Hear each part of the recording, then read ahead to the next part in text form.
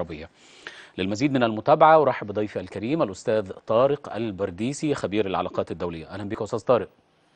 تحياتي لحضرتك وللمشاهدين الأكارم. أهلا بيك يا فندم. لعل حضرتك كما تابعت كلمة الرئيس عبد الفتاح السيسي في افتتاح هذه القمة آه، طوف حول أهم ملامح المشاكل المتجذره في المنطقة العربية في مقدمتها آه، القضية الفلسطينية طبعا مشكلة الإرهاب مشكلة الهجرة وغير ذلك. لم يكتفي السيسي بهذا فقط بل قدم ما يشبه آه، روشتة علاج أو خطة عمل لمواجهة هذه المشاكل. فإذا كان لحضرتك يعني أيضا تؤكد أو تعيد التأكيد على بعض النقاط المهمة من وجهة نظرك كما جاءت في كلمة الرئيس عبد الفتاح السيسي.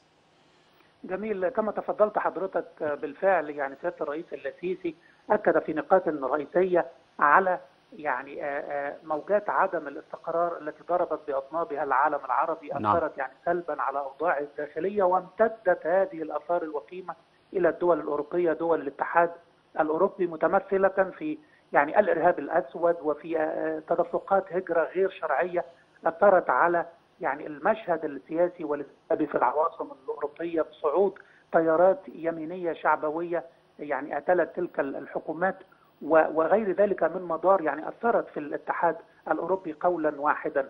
واكد سيادة الرئيس بالفعل أن قضية قضية العرب القضية المركزية الأولى ستظل هي القضية الفلسطينية، ما سمي بالربيع العربي أو الخراب العربي أثر على على هذه القضية وجعلتها تتراجع ولكن ستظل هذه القضية هي القضية الأساسية ومفتاح استقرار هذه المنطقة سيكون نتيجة يعني التوصل إلى حل هذه القضية بالتوافق ويعني تطبيق قرارات الشرعية الدولية كما اشار سيادته يعني عمره من عمر منظمة الأمم المتحدة وأن يعني هذا الأمر سيلقي بظلاله على استقرار المنطقة. لأنه القضية الفلسطينية فتحت الباب على مصراعي الدين وللمتشددين وللدور الدور الإيراني إنه يتدخل في العواصم ويصيبه بالقلاقل والميليشيات إنها تبقى متواجدة وتبقى ندا بند برأس الجيوش النظامية في المنطقة العربية إحنا حزب الله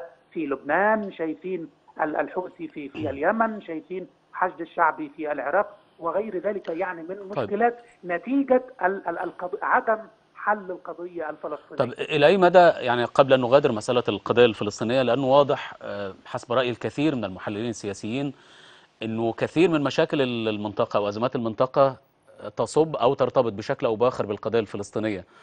برأيك هل في هذا التوقيت الذي نعيشه العقلية الأوروبية والغربية قناعاتها مختلفة أو تغيرت تجاه القضية الفلسطينية أم يبقى الحال كما هو عليه لأنه التاريخ علمنا على امتداد هذه الأزمة وهذه المشكلة إنه الغرب منحاز دائما إلى إسرائيل.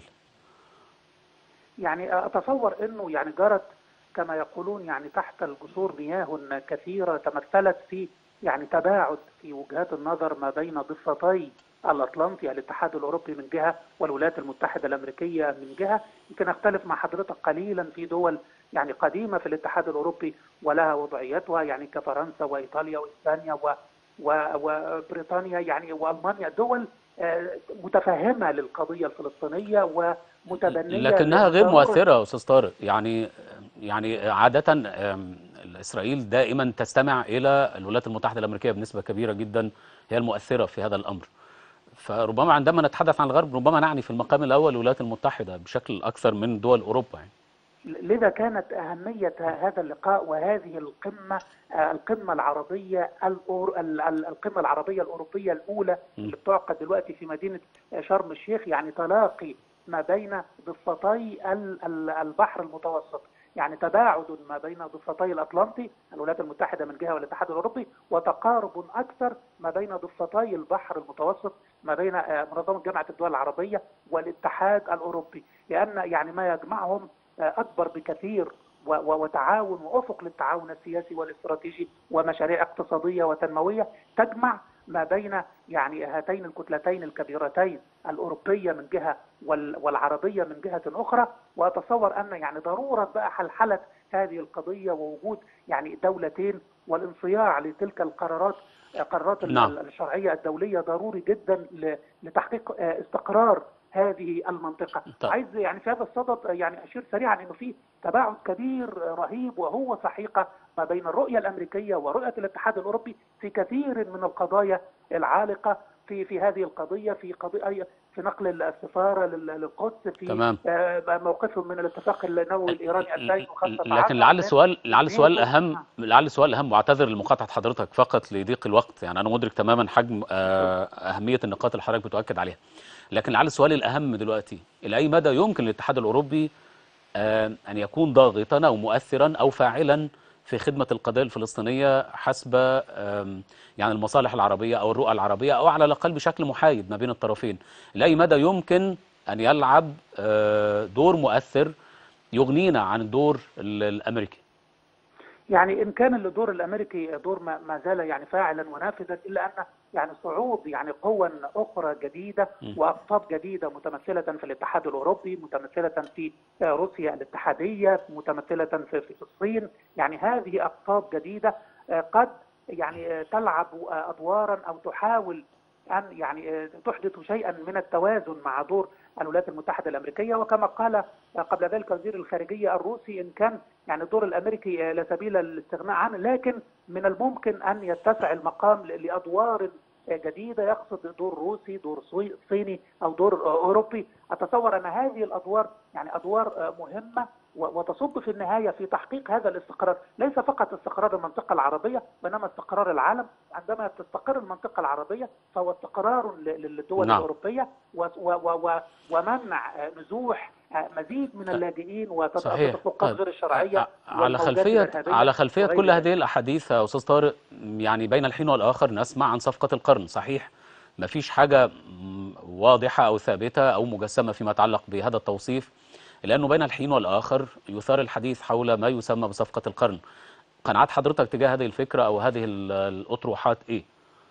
يعني صفقة القرن وإن كانت يعني شبحا ولم يتحدث بعد يعني ملامح تلك الصفقة إلا أن هناك ثمة إرهاصات تتمثل في أمريكا عندما يعني تفعل قرار الكونغرس وهو كان يعني صادر من أكثر من عقدين من من الزمن بنقل السفارة الأمريكية من تل أبيب إلى القدس ويجيء أو يأتي دونالد ترامب ويفعل هذا القرار فهو يعني ملمح من ملامح صفقة القرن. عندما يتم إغلاق منظمة السلطة الفلسطينية في واشنطن فهو ملمح من ملامح هذه الصفقة. عندما يتم يعني تضييق الخناق على السلطة الفلسطينية بقطع المساعدات وتخفيض المساعدات المالية لأونروا منظمة الغوث اللاجئين الفلسطينيين فهو يعني ملمح من ملامح هذه الصفقة. يعني أدوار أمريكية تشي ب يعني انحياز كامل للجانب الإسرائيلي يعني وكان الإدارة الأمريكية يعني صهيونية أو إسرائيلية أكثر من الإسرائيليين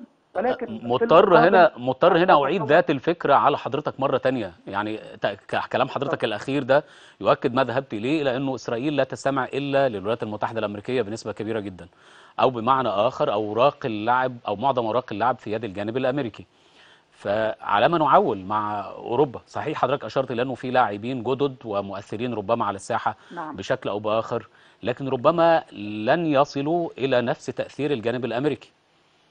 لا التأثير من الممكن أن يكون ذلك التأثير متواجد بجانب التأثير الأمريكي. ذلك أن الأراضي السورية هناك لاعبون هؤلاء اللاعبون الإقليميون والدوليون يستطيعون أن يمارسوا يعني أدوارا لها تأثير على إسرائيل. أعني بذلك الدولة روسيا الاتحادية أتصور أنه يعني تلك المخاوف من وجود قواعد صواريخ لدول معادية في الإقليم للدولة الإسرائيلية. يعني ذلك التقارب الكبير ما بين يعني تركيا وروسيا. ذلك التقارب طبعا الاستراتيجي والتحالف المعروف ما بين الدولة السورية والدولة الإيرانية يعني كل تلك التوازنات تستطيع أن تلعب بشكل أو بآخر ويمكن كلنا يعني نستطيع التعرف على أن عظيم. في صفقة الباتريوت متوقفة ما بين تركيا وأمريكا م. صفقة ال F 35 متوقفة ولكن صفقة ال S 400 ما بين روسيا وما بين تركيا يعني آخذة في في في في التشغيل وفي النفاذ. يعني كل تلك ال كل تلك الأوراق أوراق ضاغطة. أدوار تركية أدوار إيرانية أدوار روسية تلعب في الملعب الكل عظيم. تلقي بظلالها وتأثيراتها طيب، على لأنه- الدولة اليهودية. طبعا لأنه في أفكار تانية كتيرة حضرتك حابب تشير إليها عشان ننتهي من ملف عملية السلام في الشرق الأوسط. يبقى سؤال أخير. حسب متابعة حضرتك وقراءتك أيضا لمجريات الأحداث هل ترى انه إسرائيل مؤهلة الآن أو جاده الآن في سلام حقيقي مع العرب؟ لأنه كما عودتنا دائما آه، تماطل ويعني تفاوض ثم تفاوض ثم تفاوض وفي المحصله النهائية يحصل العرب على لا شيء. هل تعتقد إنه مع تغير تغيرات كثيرة حضرتك أشرت إليها في هذه المنطقة هل تعتقد أن الجانب الإسرائيلي أصبح مؤهل الآن لقبول آه، فكرة السلام مع العرب وقيام دولة فلسطينية جنبا إلى جنب آه، دولة ذات سيادة على حدود عام 67 هكذا آه، ذهب العرب في قمتهم الشهيرة في بيروت. الأرض مقابل السلام ال- ال- الدول العربية إن كان لها يعني موقف آه، آه، موحد خاصة فيما يتعلق يعني بتلك السبيكة الرباع العربي متمثلا في في مصر والسعودية والإمارات وال- والبحرين ومن الممكن يعني انضمام يعني بباقي من بقية الدول العربية إلى ذلك التحالف القوي ويعني آه، احترام المفاوض الفلسطيني والوقوف وراء المفاوض الفلسطيني وعدم وعدم القبول بأي شيء إلا بعد أن يقبل به الفلسطيني إلا أن هناك ثمه مشكلة حقيقية تتمثل في الفلسطيني نفسه، الجانب الفلسطيني للاسف للأسف الشديد منقسم على نفسه رغم الجهود المصرية المكوكيه من جهة يعني من جهاز المخابرات العامة المصرية ووزاره الخارجية وكل تلك الدبلوماسية المصرية، لكن بعد كل هذه الجهود للأسف الشديد هناك تباعد وتناحر ما بين الفلسطينيين أنفسهم، تباعد ما بين غزة وما بين فتح، يعني هذا هذا التباعد دويله في في غزة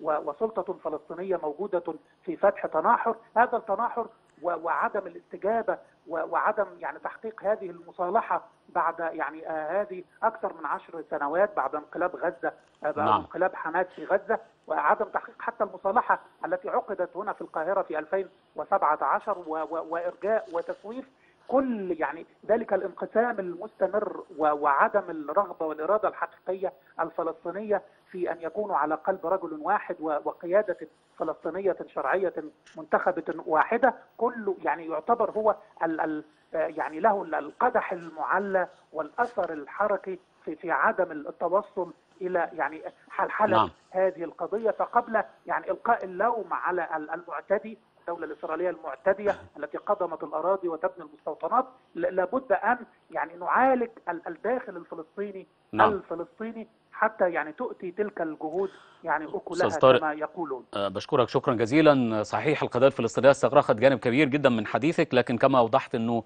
لعلها تكون مشكلة المشكلات آه، في المنطقة أشكرك شكرا جزيلا أستاذ طارق البرديسي خبير العلاقات الدولية